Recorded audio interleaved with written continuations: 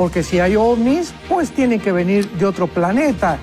Estamos esperando a Jesucristo, la esperanza bienaventurada y la manifestación gloriosa de Jesucristo cuando venga por nosotros. Eh, yo no creo lo que no veo, lo que no oigo, lo que no percibo por mis cinco sentidos. Así que ahora nos enfrentamos a un fenómeno que le llaman ovnis y que en la Biblia se llama... Este, a través de YouTube también em, dice eh, Diego, ¿por qué la gente está más interesada en el anticristo que en el arrebatamiento y en conocer a Jesús?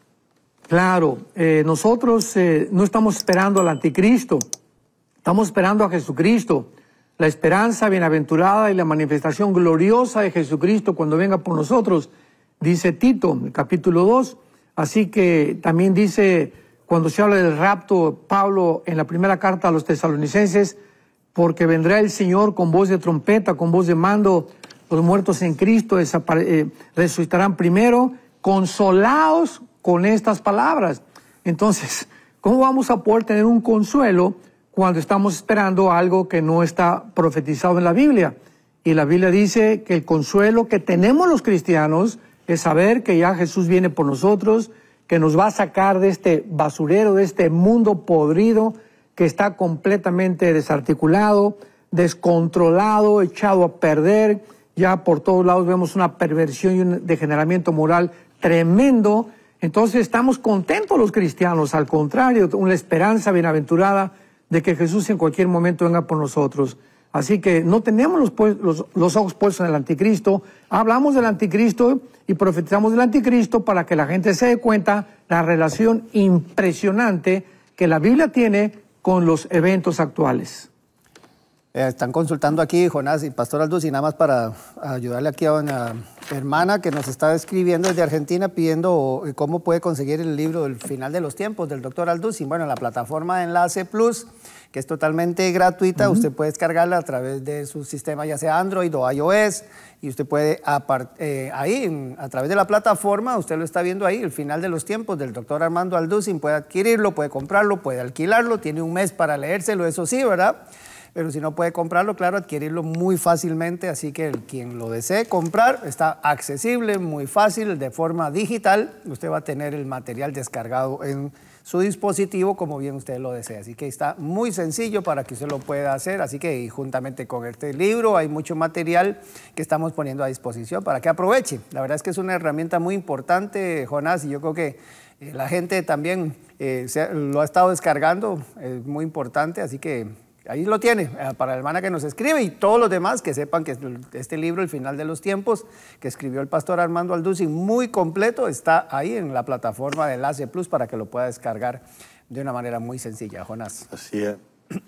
Este, bueno, y, también por, en forma escrita también está, ahora impreso, pues, este, también lo pueden conseguir. Eh, eh, como, ¿Cómo se puede? Bueno, también por Amazon está eh, las dos formas. Pueden por Amazon comprarlo digitalmente o pueden por Amazon, eh, por lo menos hablo de Estados Unidos, que sé que se puede también en forma escrita y en México, física.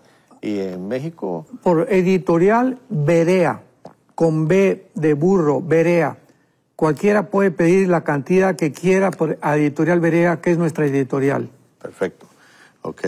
Aquí hay una interesante, dice Juan de México, dice los ovnis, ¿son reales o es mentira del gobierno por la Agenda 2030 de, élite Illuminati o los creó la CIA o cómo está el asunto de los ovnis? ¿Qué le parece? Eh, eh, esto, esto, esto, de los ovnis es, eh, es increíble porque recordamos que todavía en el siglo pasado, pues todos los científicos y todos los que estaban buscando eh, evidencias de una realidad no física, se negaron a creer en Dios porque dijeron, eh, yo no creo lo que no veo, lo que no oigo, lo que no percibo por mis cinco sentidos.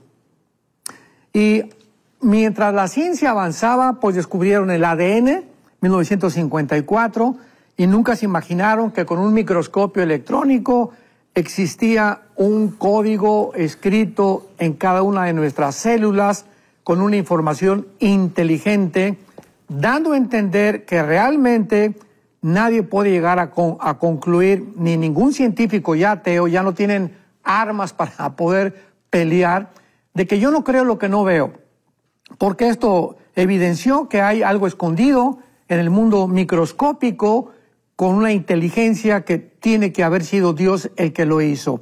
Y luego pasamos ya al siglo XXI, donde se han multiplicado estos objetos voladores no identificados. Hace algunos meses en Estados Unidos entrevistaron a pilotos, astronautas, personas, eh, o sea, de integridad moral, que no son parlachines ni así de esos blogueros que hay tantos en YouTube, sino que les preguntaron los senadores que qué evidencia tenían ellos realmente, o sea, ante un, un era un foro, ¿verdad?, de senadores y de políticos investigando a, a astronautas y pilotos que testificaron acerca de los objetos voladores no identificados. Y todos dijeron, bueno, tenemos que evidenciar y tenemos que dar testimonio de que yo iba en mi avión, dijo uno de ellos, y pasó algo que, que, que violó las leyes del sonido del match 2, el match 3, y que no puede ser hecho en ninguna eh, nación del mundo, no hay esta tecnología.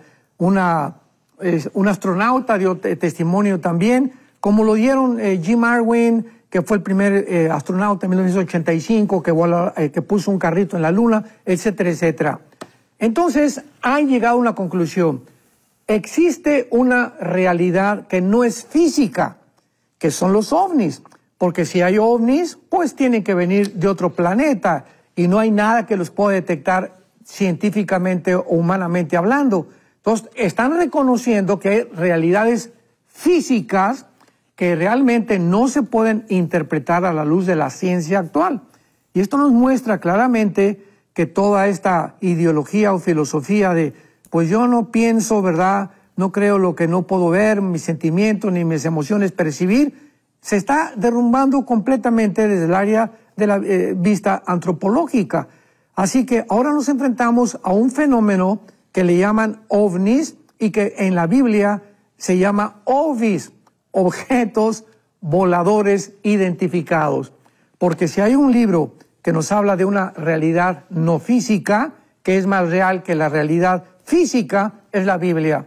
Dice Hebreos 11, versículos 2 y 3, que por la fe creemos que Dios fue, hizo el universo por la palabra de Dios, de modo que lo que se ve fue hecho de lo que no se veía. Entonces el mundo invisible que no vemos es más real que el visible, porque fue primero que nosotros.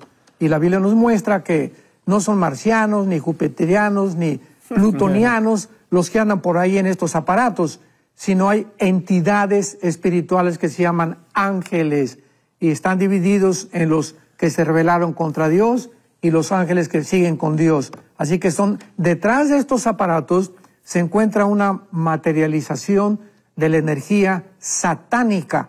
Y los cristianos sabemos, no, no dudamos de que exista, porque el fenómeno ovni no se puede negar, pero sabemos que detrás de este fenómeno se encuentran ángeles caídos, tratando de engañar al mundo, que vienen pronto, que van a traer la paz, y cuando desaparezcamos en el arrebatamiento, va a ser la mejor respuesta del mundo científico. Se los llevaron los objetos voladores identificados y vinieron los extraterrestres por nosotros y esto va a ser la historia cuando el mundo vea que millones de cristianos desaparecimos de esta tierra.